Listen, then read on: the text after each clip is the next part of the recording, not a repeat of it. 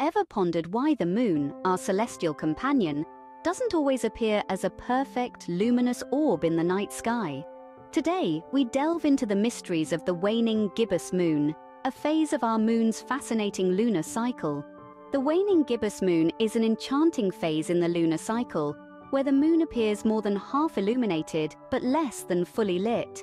It appears just after the moon reaches its full phase, a time when the moon is completely illuminated as seen from Earth.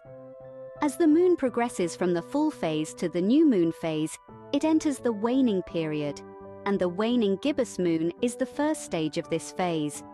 The term waning refers to the process of shrinking or decreasing in size. In the case of the moon, waning signifies the gradual decrease in the visible portion of the moon. Gibbous, on the other hand, means convex or rounded, indicating that more than half of the moon's face is illuminated. Our ancestors were deeply fascinated by the moon and its phases, often attributing divine or mystical properties to these celestial phenomena. The lunar cycle was a crucial part of their calendars, guiding their agricultural activities, religious rituals, and even warfare. The waning gibbous moon, with its unique shape and visibility, held particular significance in many ancient cultures. In ancient Egypt, it was believed that the lunar cycle represented the life cycle of the gods.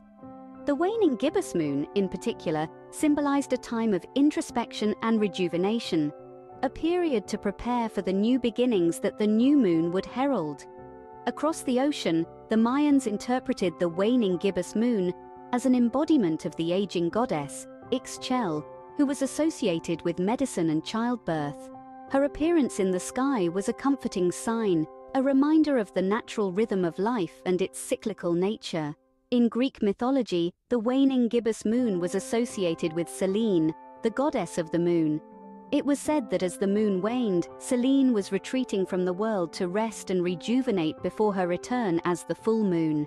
Even today, despite our scientific understanding of the lunar cycle, these ancient interpretations continue to captivate us. They serve as reminders of our shared history, a time when the moon was more than a celestial body. It was a beacon in the night, a symbol of the passage of time, and a source of endless wonder and speculation. We shift our gaze to the waning gibbous moon gracing the night sky. You might observe that the right segment of the moon is always aglow. From our vantage point on Earth, the moon's counterclockwise orbit is responsible for this. As it continues journey away from Earth's shadow post the full moon phase, the left side gradually darkens, leaving the right side bathed in light.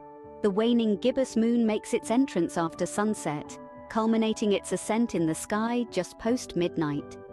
It remains faithful companion for most of the night, bidding adieu only after the sun peeks above the horizon the morning. For astronomers and celestial enthusiasts, the waning gibbous phase holds special significance. The subdued brightness during this phase enhances the clarity of the night sky, facilitating the observation of far-off galaxies, nebulae, and other heavenly bodies. The waning gibbous moon is a distinct stage in the lunar cycle that succeeds the full moon. Amid this stage, the moon is more than half visible but doesn't appear fully illuminated.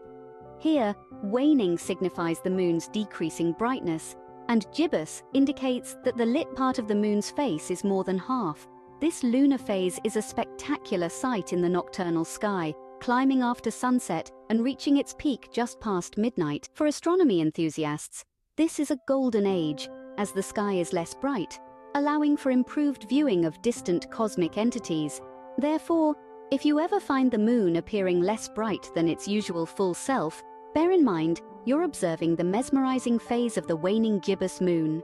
This cosmic event stands as a testament to the dynamic and constantly evolving nature of our cosmos.